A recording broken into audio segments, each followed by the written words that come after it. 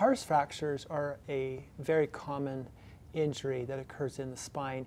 We did a video a while back on pars injuries and pars fractures in young athletes and maybe some, some things that could be done to prevent a pars injury. In this video, I want to talk about what happens to patients with a pars fracture over time.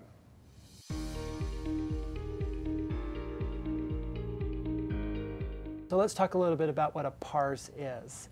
The pars is a part of the spine and it's a part of the back of the spine. So in the front you have your vertebral body and your disc and in the back you have the pars and then the facet joints and then the next pars level. so if a pars injury occurs, it disconnects the facets and um, basically weakens the motion segment at that level. L5 is the most common level to have a pars fracture or pars defect, but it, it can occur at L4 and L3 and even up higher. When a patient has the typical scenario is a patient would suffer a pars injury when they were 13 or 15 or 17, maybe very active playing sports or for some other reason.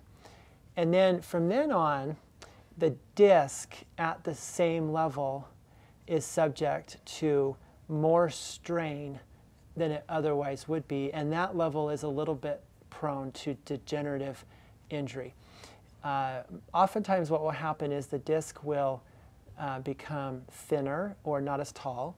The um, vertebral body will slip forward some, and then the nerve associated with that can get pinched.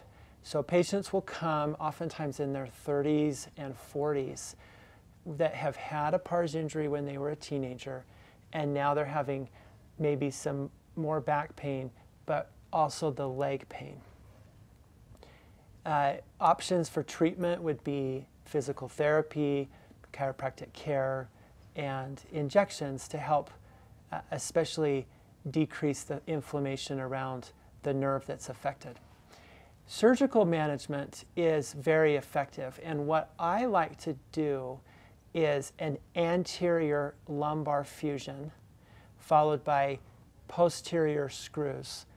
Uh, so we go in the front and we put in that big anterior lumbar interbody fusion cage, and it really opens up the disc space and restores the disc height.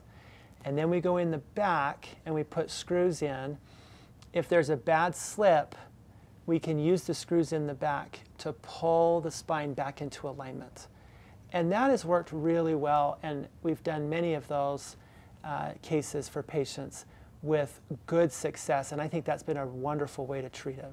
So for patients with PARS injuries, I would say to live your life normally, to be healthy and be active, most patients do very, very well for many, many years. For those patients that are having radiating leg pain and whose symptoms are persistent, uh, surgical intervention can be very helpful.